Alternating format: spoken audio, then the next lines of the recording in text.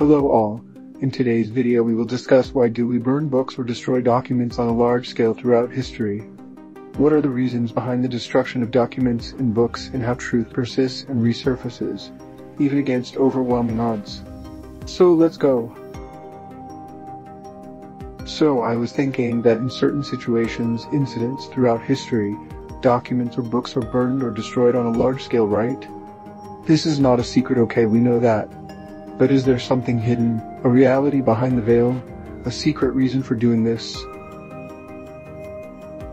You're right, throughout history, the burning or destruction of documents, books, and other records has been a recurring theme. On the surface, this act is often linked to efforts to erase evidence, control information, or suppress ideas. But if we dig deeper, we can consider some behind the veil reasons that might not always be immediately apparent. Erasure of power and memory. When a regime or group is overthrown, the victors may destroy documents to erase the former power's legacy. By doing so, they control the narrative of history, erasing any positive contributions or lessons learned from the past. This ensures that future generations won't be inspired by or learn from the previous regime's successes or resistance. Suppression of dangerous knowledge. Certain knowledge, whether scientific, philosophical, or spiritual, can be seen as a threat to established power structures. The destruction of documents can be a way to prevent the spread of ideas that could lead to societal upheaval, challenge religious orthodoxy, or empower the masses. Psychological warfare. Destroying important records can demoralize and disorient a population. Imagine a culture that defines itself through its literature or sacred texts. If those are destroyed, it can be a deep psychological blow intended to destabilize and subdue. Protection of secrets. Sometimes, documents are destroyed to protect sensitive information from falling into the wrong hands. This might include military plans, intelligence operations, or secret treaties. In these cases, the destruction is a defensive act to prevent adversaries from gaining an advantage. Ritualistic or symbolic acts. In some cases, burning documents or books can be a symbolic gesture representing the destruction of old ways of thinking or the birth of a new era. This is often done in a highly public manner as a way of signaling a break with the past. Hidden histories and alternate realities. There's also the idea that certain documents contain knowledge of alternate histories, esoteric wisdom, or suppressed technologies. The destruction of such documents could be seen as an attempt to prevent humanity from accessing this hidden knowledge, which might challenge conventional understandings of reality or empower individuals in ways that are threatening to those in power.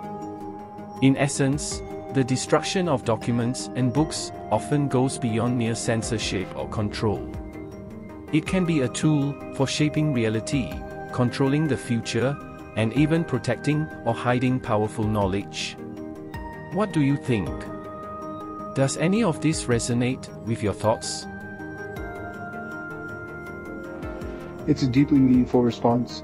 All six points you mentioned make sense. This is exactly what I had in mind. But we also see that when they want to erase something, they can't 100% do it. Something always slips away. Absolutely. Less. History shows that despite the most determined efforts to erase information, something almost always survives, whether it's a fragment of a document, an oral tradition, or even the physical traces left behind by the destruction itself.